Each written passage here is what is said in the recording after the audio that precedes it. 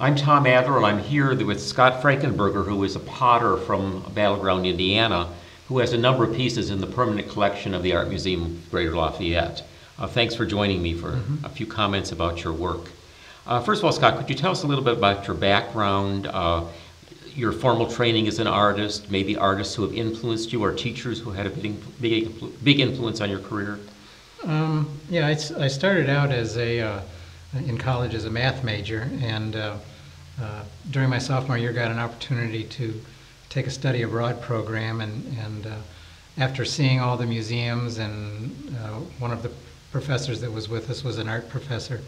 Uh, when we came back, I decided to try some art classes, and really liked it, and um, then switched to an art major, and um, got a teaching license at the same time, and then moved down to West Lafayette area.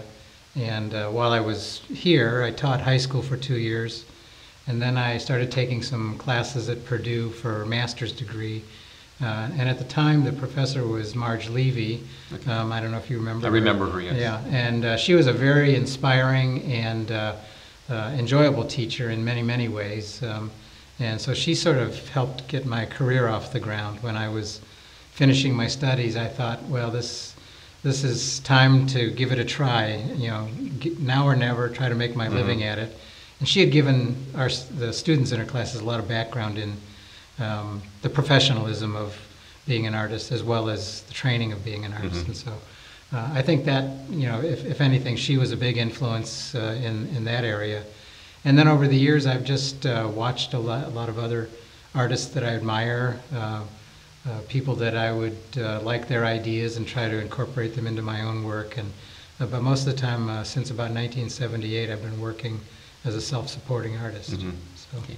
Mm-hmm. the piece that we have between us is from our permanent collection. Mm-hmm. Is this representative of the traditional style you work in, particularly at the time that you created? I think it's mm-hmm. 2009.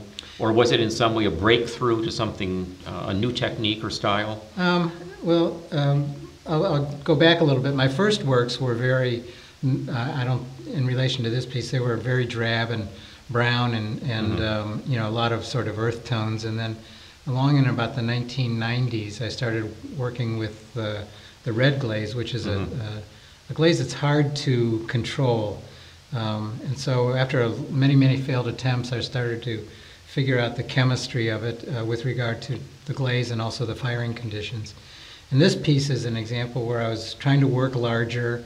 I was working with porcelain. Uh, porcelain is a clay that doesn't like to be made larger. It it's, uh, tends to be made with more small, intimate objects. So I was working larger. I was also trying to push the form out so that it had a, a nice, robust quality. And also, when you push clay out like that, it tends to want to collapse while you're working on it. So, mm-hmm. to keep a form like this under control, I mean, this it's not that it's a breakthrough piece, but it's a successful piece in that it, you know, it did everything I was trying to accomplish during that time period. Mm-hmm. Now, in the work that you're doing currently, are you doing something that's in any way radically different from what we see here? Um, not, I wouldn't say radically different, except that I'm maybe pulling back from working so much with the red glaze.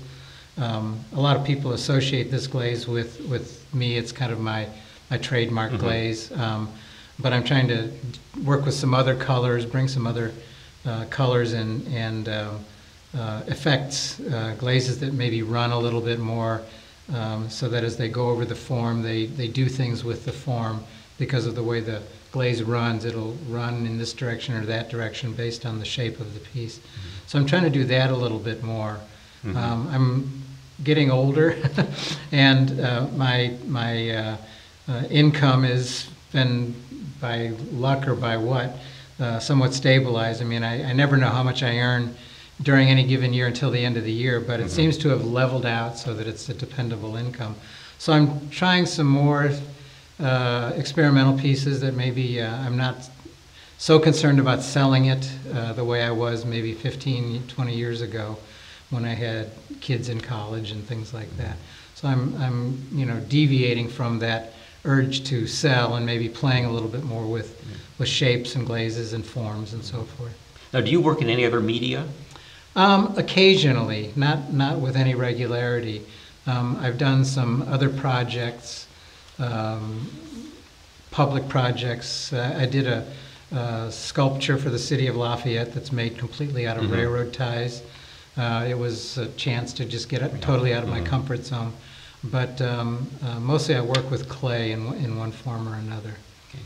Uh, Could you reflect for us a little bit on your maybe philosophy of, of an artist or your vocation as an artist? Well, one of the things I like is, is uh, for my forms, whether they be a plate or a, a jar or a bowl or a dinnerware set or a, a mural or, or even a fireplace or something, I like the piece to sort of speak for itself. I don't like to talk too much about Mhm. my work. I like people to come up and have their own uh, engagement with the piece, have a dialogue with the work. There's some pieces that I really like that nobody else likes. There's pieces that other people like that I really uh, released with, with a lot of reservations. They weren't my favorite works.